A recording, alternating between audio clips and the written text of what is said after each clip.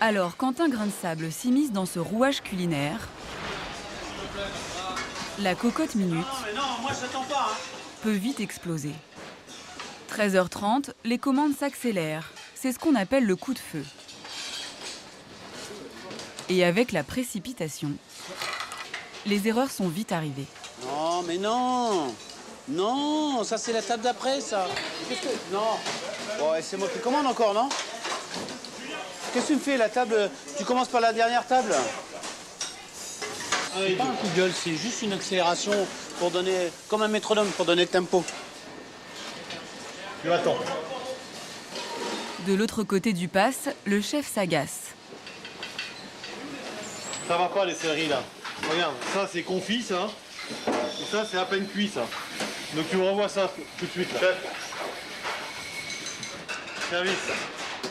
Vite